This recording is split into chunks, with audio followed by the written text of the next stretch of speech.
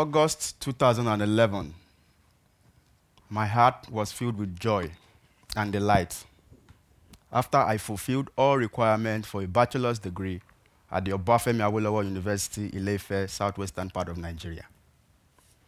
I was happy because all fresh Nigerian graduates are expected to proceed to a one-year national youth service towards, I mean, the fulfillment of the visions of the forefathers of Nigeria. However, my joy and delight was cut short when the list for deployment, I mean, became public. Lo and behold, I was posted to Borno State in the northeastern part of Nigeria.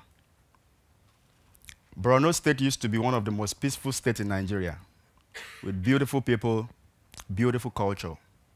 And as a matter of fact, it was the pride of northern Nigeria. But within a short period of time, it has become one of the most dreaded places to be in the entire Sahel region. And this is as a result of the activities of the Boko Haram terrorist group, which has claimed responsibility for thousands of innocent lives, destruction of properties worth billions of naira, and of course, the displacement of over 4 million people in Nigeria. I remember clearly how traders from my community in Ibadan, southwestern part of Nigeria, went to Borno State to buy beans, tomatoes, and onions with intention of I mean, coming back to the southwestern part to sell. But they returned in body bags. The whole community went into mourning. I cried all night. So, when I was posted to Borno State, I didn't think twice. I rejected the posting my friends advised me to, my parents advised me to, and I sought for redeployment. Eventually, my redeployment, I mean, was approved, and I was posted back to where I came from. As I moved back to my new place of primary assignments, several questions came to my mind. Lawal, you're running away from Borno State because your families are not there. You're running away from Borno State because you think that your future is not tied to Borno State. What about those who just cannot run away? What about those whose ancestral home is basically being destroyed on a daily basis? I searched for answers I couldn't find. Then I remembered a popular quote by famous, I mean, German theologian Martin Niemöller. He says, they came for the socialists, you didn't speak up because you were not a socialist. They came for the trade unionists, you didn't speak up because you were not a trade unionist. They came for the Jews, you didn't speak up because you're not a Jew.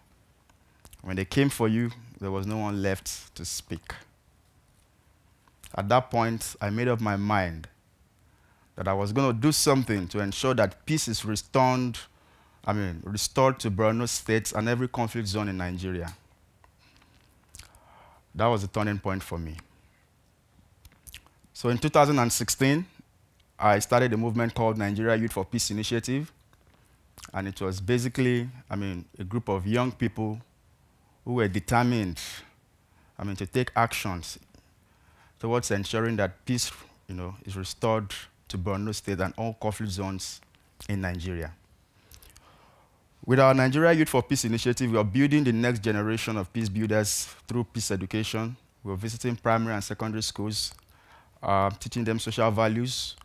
We're also creating, I mean, uh, a platform through our Youth for Peace Summit, annual Youth for Peace Summit, bringing together relevant stakeholders, creating intergenerational dialogue towards ensuring that, I mean, peace comes back to our conflict zone in Nigeria.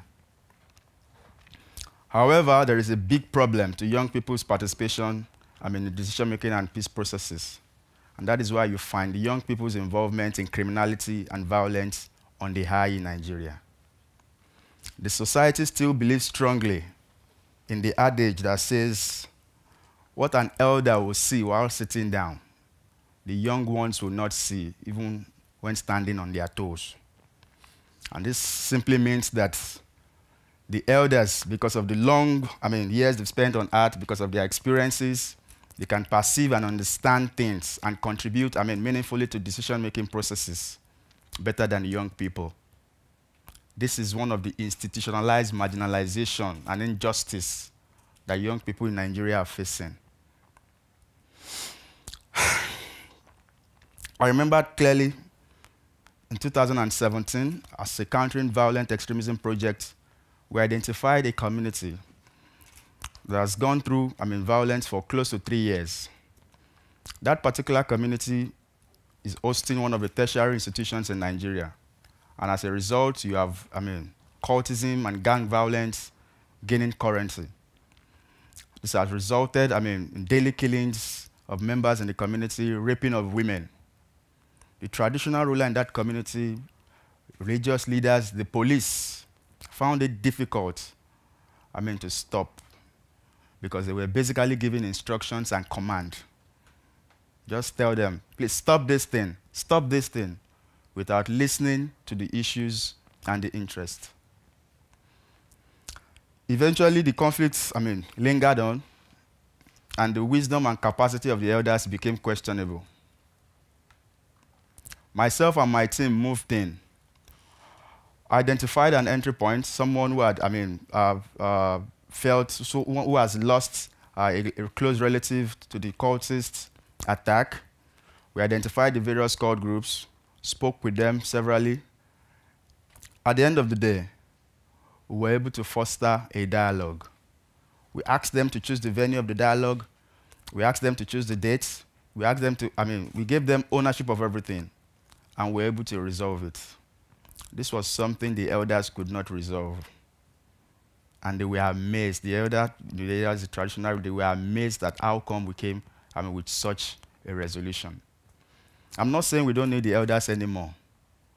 What I'm saying is that young people should be given the space and cooperation to support I mean, peace processes.